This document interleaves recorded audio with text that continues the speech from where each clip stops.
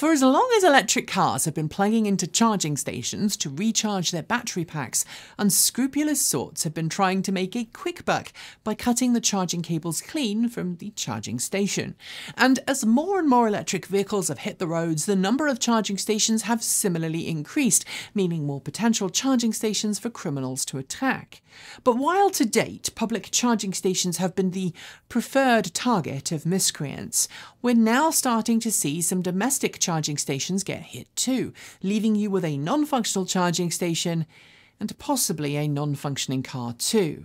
So today, we're going to go over the current rise in EV charging station cable theft, explain why it's happening, and for those of you who do have charging stations at home, how you can protect yourself from becoming a victim of this particularly shocking crime.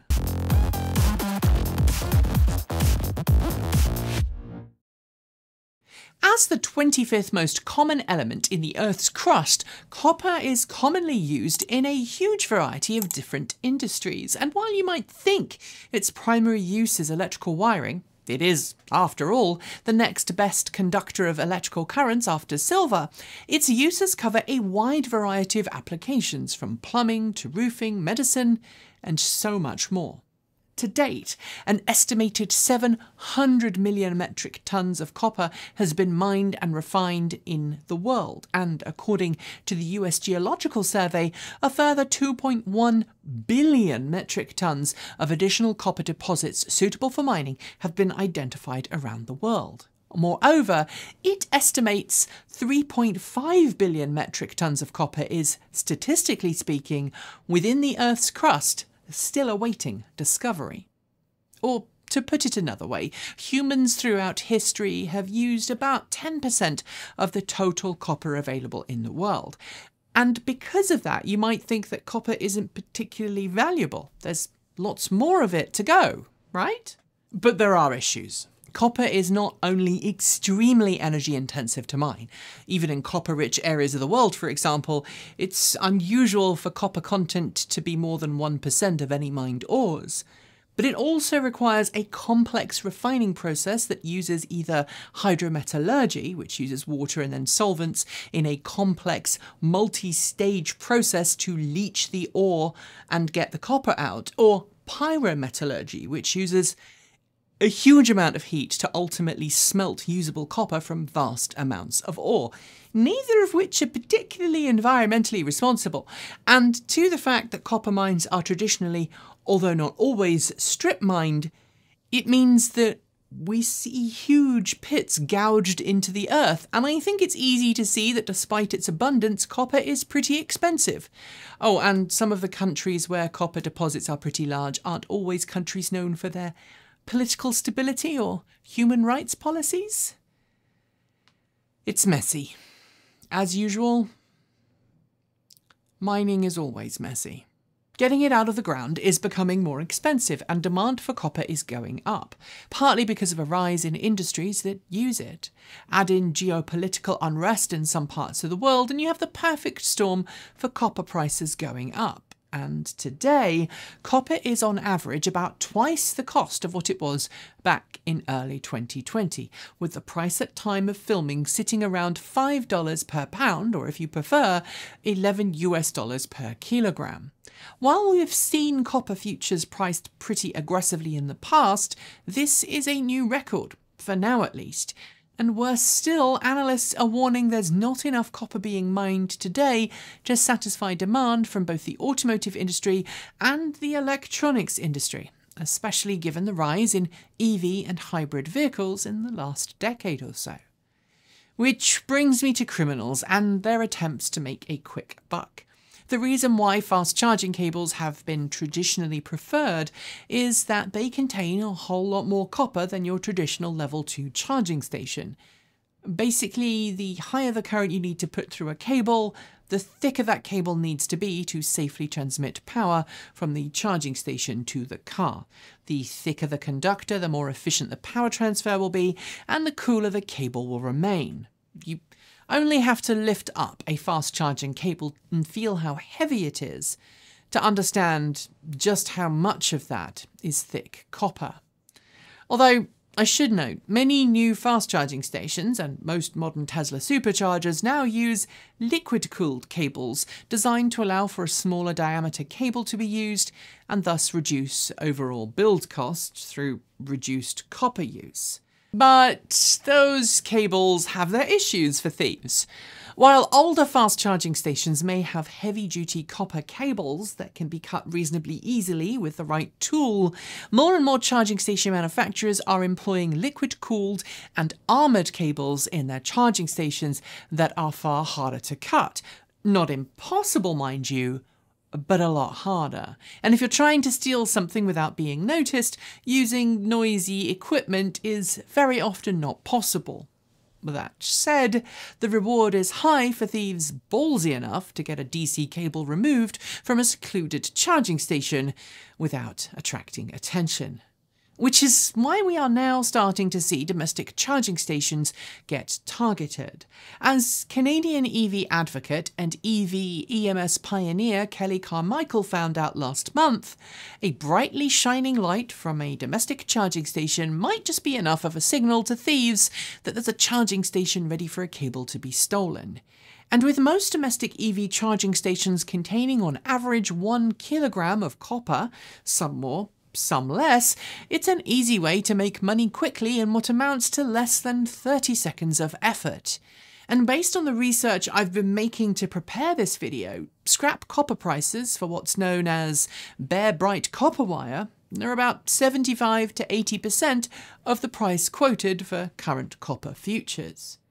It is, for many unscrupulous sorts, easy money requiring very little in the way of tools. This video here shows a pair of thieves approaching Carmichael's Leaf as it sits on the driveway. They quickly check nobody is around, unplug the car from its charging station, and then with a set of hefty bolt cutters make off with the cable. In a few hours, a team like this could quite easily snag a half dozen cables or more, and provided they have a sympathetic scrap dealer who asks few questions about where the copper comes from, Thieves can always skin the cable and remove the copper wiring from the outer EVSE sheath to make it less conspicuous, and there's a decent amount of money to be made. Even if the stolen cable commands less money on the scrap market compared to, say, virgin copper cabling, it still represents a hefty profit for those who are desperate enough to steal in the first place. I've covered the how and the why so now let's look at how you can try and make sure that you are not a victim of this. And depending on where you live, what you can do will change. In parts of the world where Type 2 charging cables are the preferred slow charging solution, you can usually remove the cable from the car and the charging station when not in use, coiling them up and putting them somewhere safe. Meaning that if you are in an area where you think there is a risk your charging cable might be stolen, it might be worth charging during the day and then unplugging your vehicle when charging is complete. But if you live somewhere where cables are attached to the charging station, things are a little more complicated. Luckily, though, there are some things you can do to ensure that you're less likely to be a victim. The first, hopefully obvious one, is to make sure you charge somewhere people can't easily get to your car. This might mean parking behind a fence and a gate that's difficult to climb, or parking your vehicle inside a garage. Most cable thefts are opportunistic in their origin, although, as with Kelly Carmichael's theft, it's kind of clear someone had grokked there was a car there and a cable to be stolen before the actual theft took place, as the criminals were prepared carrying a tool bag and a set of bolt cutters. If you can't park behind some kind of secure structure, though, don't worry. There's some other ways you can help avoid attention from cable thieves. First, consider turning off lights on charging stations that are visible from the road.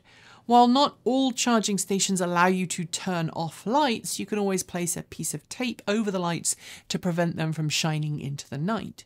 The same is true for charge indicators on your car, although you might be able to just achieve the same effect with a piece of material placed over in car charge indicators or by putting a piece of tape over charge port door indicators. Next, consider buying a security camera and point it at your charging station and EV charging spot.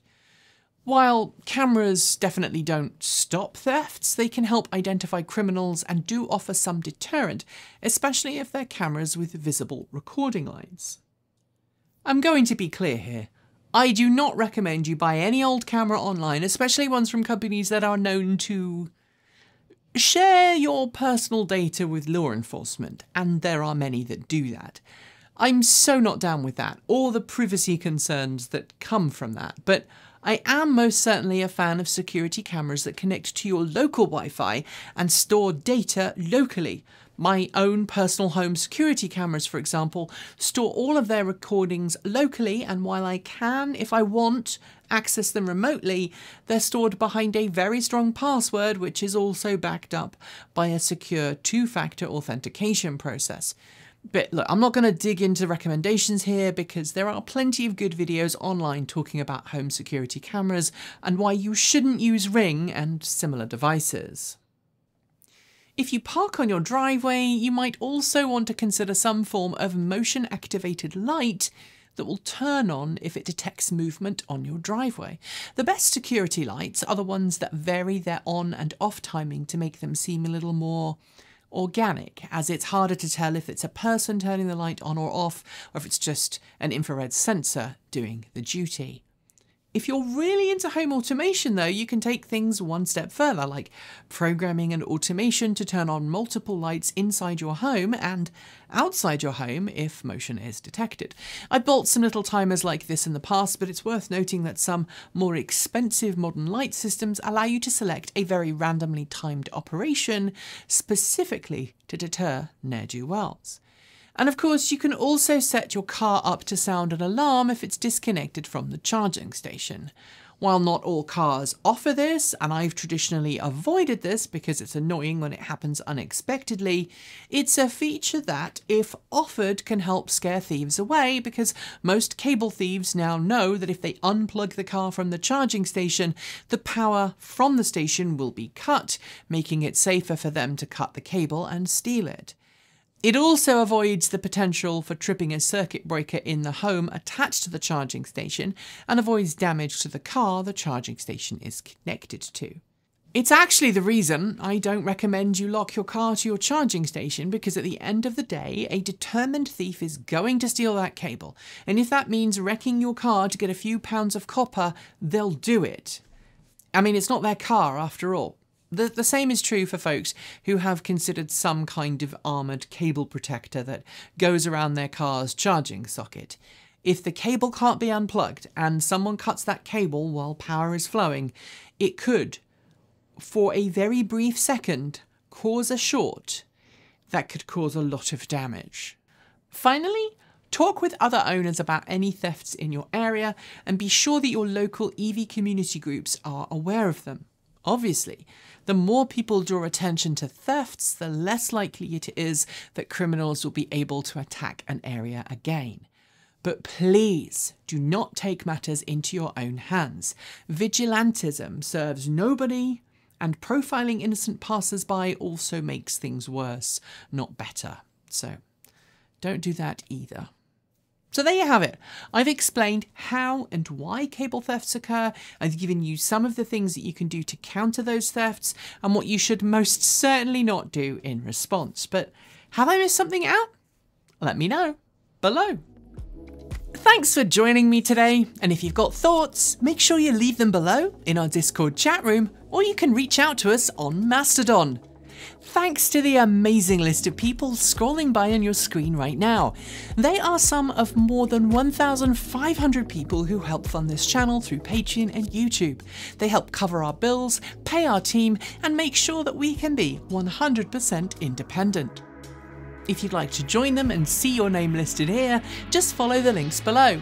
There are a range of different tiers you can sign up for from as little as $1 a month, or if you pay yearly, just over $10 a year. A huge welcome to our newest supporters Mac McIntosh, Kyle Randall, Bryant E. Day, Shedrick Mask, and Robin Mayorga. To join the list and get your shout out, become a paid Patreon member for your week of fame. If you'd like to support us with a one-off donation, you'll find links below to make Ko-fi and Bitcoin donations, and we even have an old-fashioned PO box you can reach us at, address linked below. And if you're in need of some swag, you'll find our swag store in the down below. This month, we're getting ready to celebrate Pride with an amazing t shirt design by our in house artist and animator Erin.